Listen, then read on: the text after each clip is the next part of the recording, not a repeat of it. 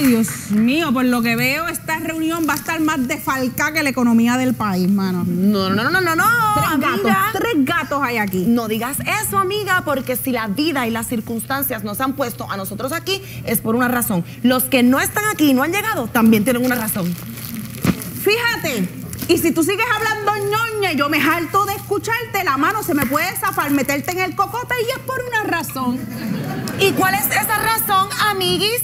A, mí, como esta me vuelva a decir amiguis, yo le voy a hacer una colonoscopia con los tenis. ¿Tú estás clara?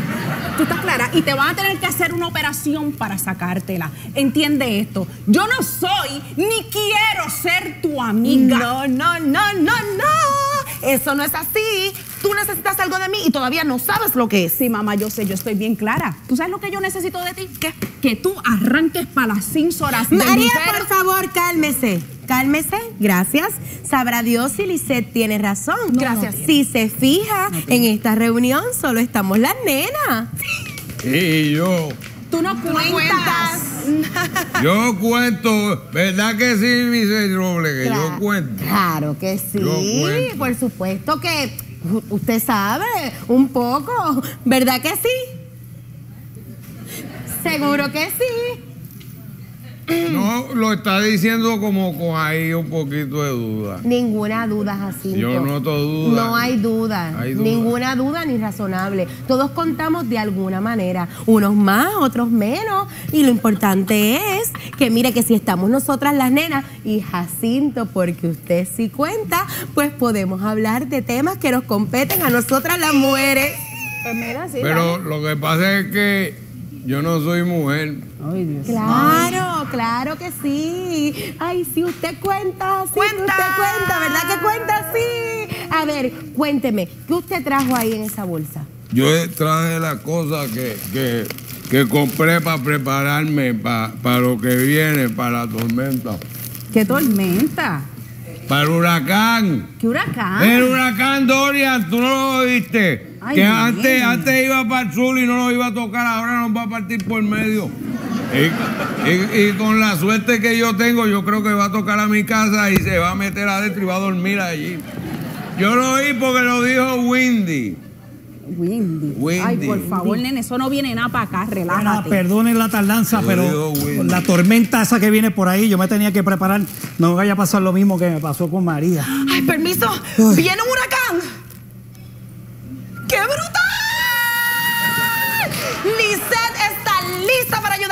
¿Cuándo viene? ¿Qué categoría es? ¿Cuatro, cinco, seis? ¿Qué tengo que hacer? ¿Para dónde voy? ¿Qué puedo Lisette, hacer? no nos alegramos ni es bueno un huracán, ¿verdad que no?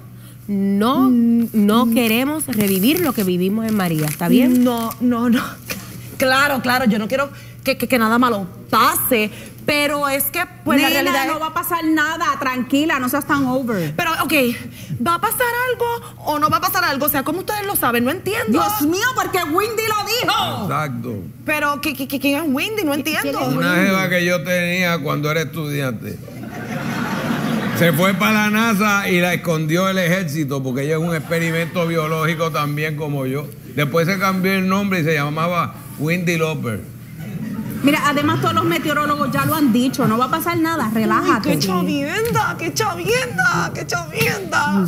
Uno que lleva todo el año preparándose para ayudar a la gente y entonces llega casi septiembre y lo que viene es lluvia sin viento, lluvia sin viento. ¡Qué bonito, qué bonito! Y entonces yo que me voy y compro 200 cajas de agua con mis propios chavos y las tengo allí estoquías en la, marque- en la marquesina de mi casa. Desde junio no puedo meter el carro porque llueve y entonces me mojo yo porque el agua está en la marquesina pero el carro está afuera y la marquesina en casa con el agua estoqueada y,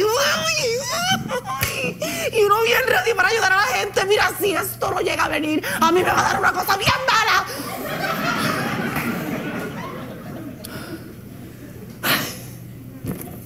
Somos bendecidos, Corillo, no va a pasar nada.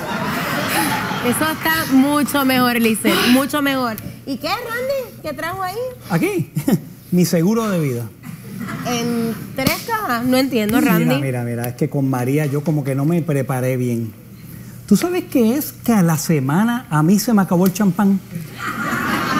Y no conseguía champán por ningún lado. Para conseguir una caja de champán era un problema. Y para conseguir filé miñón.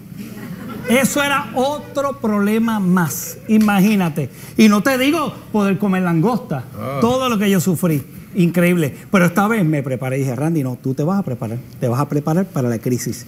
Y adivina qué, conseguí tres cajas de filet miñón, cada una 450 dólares. Ah, ok. Son caras, pero buenas. Fíjate, yo compré una lata de corn beef a 4.50. Son baratas y no tan buenas. Digo, hay gente que si no lo sabe hacer, sabe a comida de perro. Pero si le echan huevo frito por encima y amarillo, sabe a, a comida de perro con, con huevo frito y amarillo. No, no, y eso que no les cuento de la langosta.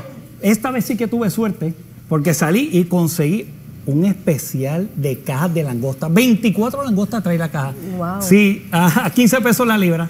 Regala. Mira, Dos cajas por dos mil dólares. Más nada. Oye, son caras, pero buenas. Pero ven acá, se acabaron porque yo quería comprar. Pero eso sí, compré, compré una, una lata de tuna, pero dos por cinco pesos. Pero yo no las compro en agua, las compro en aceite. Porque yo reservo ese aceite y con eso frío los amarillos. Son los únicos amarillos, los únicos amarillos del mundo que saben a pescado. Bueno, lo importante fue, yo llamo y llamo y llamo y llamo a un amigo que se llama Mikey. Y Mikey me contesta y dice, dime, ¿qué pasó, Randy? Necesito tres cajas de Loren Perrier. De ¿De qué? champán. Champán Loren Perrier. Nunca lo he probado. Me consiguió tres cajas de Loren Perrier Wow. y una rosé. Son caras, pero buenas. Porque la otra vez, con la tormenta, con María, cuando estaba Ricky de gobernador, ustedes no saben, puso este, la ley seca. Yo cuatro días en casa viéndole la cara a la doña ahí. Yo ahí, a ley seca, ah, sobrio, sobrio viendo la cara. Mira, yo no puedo. Y yo veo a Wanda Vázquez. Wanda Vázquez se ve que no se toma ni una malta. Esa, esa es capaz, esa es capaz de poner un mes, un mes la ley seca. Y eso yo no lo voy a aguantar. Eso sí que no lo voy a aguantar. Así que yo me preparé esta día. Randy, prepárate y ya me preparé bien. Ya tengo mis artículos de primera necesidad. Qué bien, Guau, qué bien. guau. Qué En, bien. en- en serio, en serio, Pablo Mármol. ¿En serio esos son tus artículos de primera necesidad? Artículos de primera necesidad es agua, por ejemplo. Yo tengo 200 cajas en la te de casa. preguntó. Agua, comida, enlatada, qué sé yo, batería. Es que yo vela. tengo, es que yo tengo en mi techo dos cisternas de 5 mil galones de agua. A mí no me hace falta agua. Y diésel. Tengo 5 mil galones de Dice diésel. lo que es, de eso he bebido, eso sí.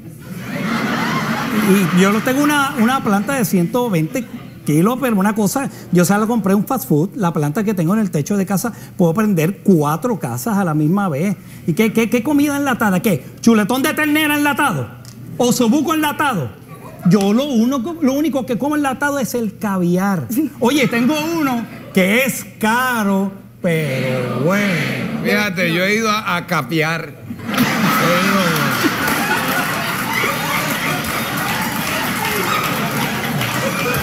Caviar. Mira. De verdad, de verdad, yo no sé por qué yo pierdo el tiempo con el Ken criollo este, de verdad. Porque nunca, ustedes son bien. De verdad que bájale 25, nada va a pasar, relájense.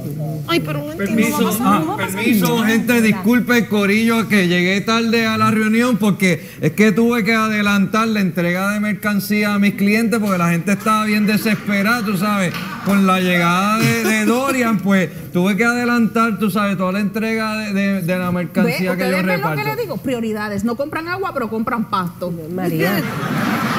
Bueno, lo que sucede, déjeme explicarle, lo que sucede es que yo tengo unos clientes que les gusta la semilla de la moña dominicana, ¿verdad? Entonces, como dicen que la tormenta quizás va a coger a la República Dominicana, pues se estaban abasteciendo porque yo, yo vendo realmente tres semillas distintas, tú sabes, son bien distintas. A uno le digo la tigrasa, porque eh, te da una nota bien rabiosa, bien rabiosa. Tengo también unos gomis que yo les digo los gomis de chabón. Si te los, si te los comes con el estómago vacío, te chavaste. Porque te van a explotar bien duro. Y tengo, pero la mejor, la que más se vende, es de, de una vaina, de una moña bien buena. Es, oh, pero mi qué vaina. Esa es la que más se vende. Chacho, te dejo una nota bien buena, bien buena. Imagínate, te pone a bailar, tú sabes, merengue, y aunque tú no sepas. Oye, y, y, y no te ha sobrado alguna. Digo, que algún cliente te haya cancelado una orden o algo así. Sí, para que no se pierda. Bueno, en mi casa me dijeron que la comida no se bota. Sí, lo que pasa es que lo que Gregorio vende no se come. Bueno, se los gomibers, esfuma. go- los gomibers se comen. Bueno, caramba, eh, muchachos, yo lo vendí todo, no me queda. Bueno, realmente me, me quedan unos gomis de chabón que son los que yo reparto, ¿sabes? Para que prueben, pero. pero Ay, no, no- Mr. Gregorio, eh, eh, ¿usted cree que me pueda dar uno para yo pasar ese estrés de las 200 cajas de agua que tengo en la marquesina de casa? no, no, claro, Gracias. que- Bueno, me puedes dar uno para cuando se vaya la luz, olvidarme los mosquitos. Cuando No, claro, no. picando. Eh, aquí tiene, Gregorio, aquí tiene. este, eh, a veces mi esposa está con cantaletas y, ¿verdad? Sí, A ti te voy a dar dos. por favor. Sí. Bueno, si te sobra uno, eh, pero es para quitarme el sabor de los amarillos con sabor a pescado. A ti te hacen falta como tres. Te voy a dar tres, está bien. Bueno, pues nada, pues. Permiso. ¿Habrá uno para mí? Bueno, lo que, lo que pasa, mi roble, es que esto hay que comérselo con el estómago lleno. Si, si usted no ha, usted ha comido. Ah, yo desayuné bien fuerte, yo fui un brunch y yo me jalté y estoy, mira, pim, pam. Ah, bueno, y a lo pues. mejor eso me ayuda para bajar la ansiedad de la tormenta. Mira, que eso no viene nada. Yo lo sé, yo lo sé, pero si se desvía, estamos preparados, podemos decir ¡Arriba Puerto Rico!